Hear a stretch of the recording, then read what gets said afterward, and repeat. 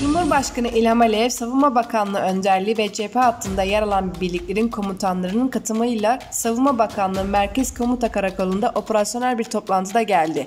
Devlet Başkanı 27-28 yıl içinde Ermenistan askeri ve siyasi yardım almasaydı topraklarımızın uzun zaman önce işgalcilerden kurtulacağını ve barışçıl bir şekilde şunları söyledi. Öncelikle Azerbaycan halkı gerçek durumu bilsin. Ne pahasına olursa olsun topraklarımızı işgalcilerden kurtarıyoruz. Ermeni askerlerinin savaş alanından nasıl kaçtığına bakın.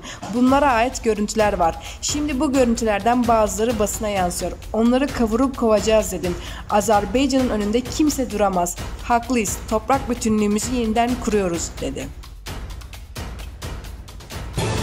Amerika Birleşik Devletleri'nin başkanı Donald Trump tarafından New Hampshire'deki desteklerine yaptığı bir konuşma sırasında Washington'un Bok ile Erivan arasındaki anlaşmazlığı barışı bir şekilde çözmek için çalıştığını söyledi. Trump her şeyin iyi olacağını vurguladı.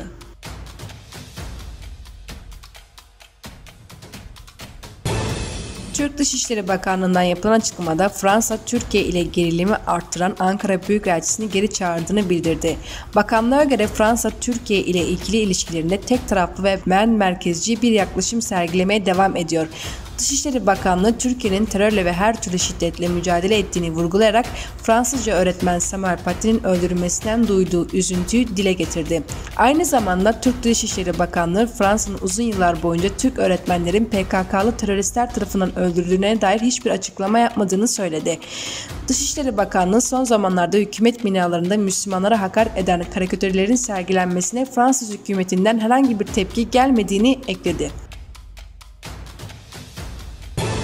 Fransa Dışişleri Bakanlığı Müslüman ülkeler Fransız mallarını baykot etmeyi derhal durdurmalıdır diye talepte bulundu. Diplomatlar son zamanlarda bir dizi Orta Doğu ilinde tarım ürünleri de dahil olmak üzere Fransız ürünlerinin baykot edilmesi çağrılarının yapıldığını kaydetti. Dışişleri Bakanlığı bu tür çağrıların asılsız olduğunu söyledi ve protestoların derhal sona erdirilmesi çağrısına bulundu.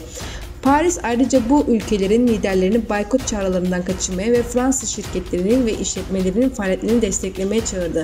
Fransa Cumhurbaşkanı Emmanuel Macron'un İslam'a ilişkin açıklamalarının ardından bazı Müslüman ülkelerin Fransız mallarının baykot ettiği unutulmamalıdır.